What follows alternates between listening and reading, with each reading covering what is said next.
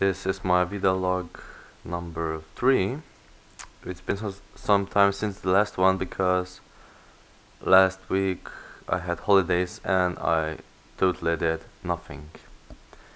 So this week school started again and I started working on things again. So let's just say that there was one week of free time. But yes, I'm actually almost finished with my school game. Uh, it only needs levels, so I'll just start this.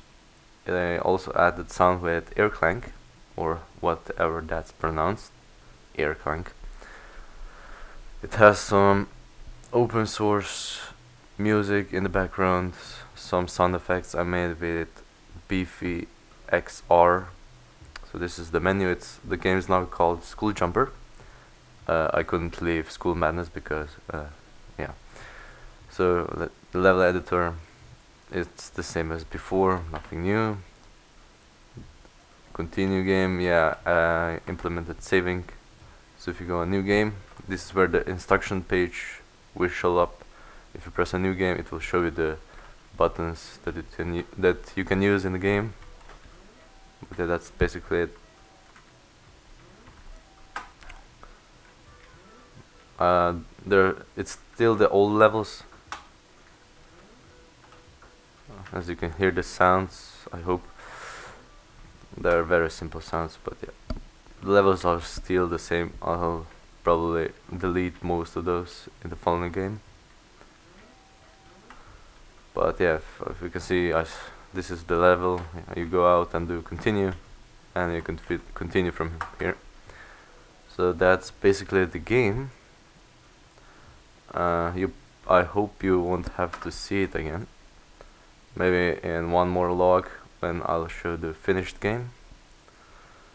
But I have been working on other things. I've been learning OpenGL. Well, I know OpenGL, but I have been learning advanced stuff like um, frame buffers, uh, proper 3D, and things like that.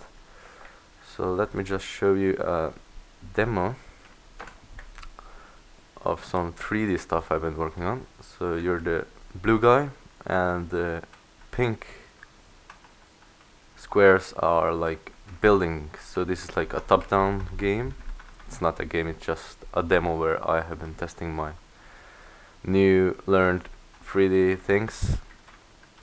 So you can move around and I can tilt the camera around.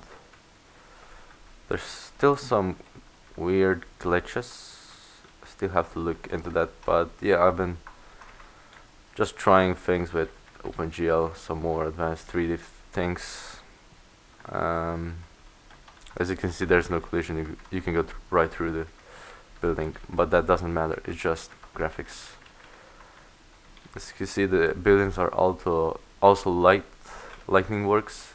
It's old OpenGL Lightning, but it's good enough for me because I won't be doing any complex lightning stuff. Just for changing the colors up a bit. So that's that demo. I can show you what I've done with the frame buffers. It's basically fake 2D sh shadows, like the everything is black and there are like torches and things that emit light and you can only see that part of the screen, something like that. I had a screenshot, I posted it on the blog. So, I know I actually posted an old picture on the blog. But yeah, it's basically something like that. Uh, I also worked on some C sharp game for school.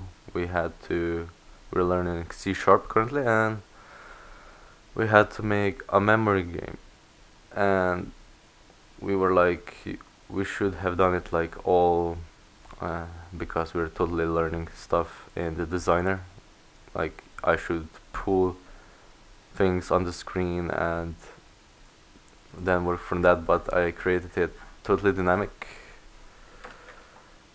so we have this we start a new game, easy game, and there's a timer in the bottom left corner. Uh, so it's as simple as it gets. Uh, just memory game, and when you win, you just input the name, video, and it creates high scores. Well, it's position zero. That should be fixed, but it's okay. We have three difficulties, but I won't even try this one. But yeah, it works. That's basically all the things I've been working on lately.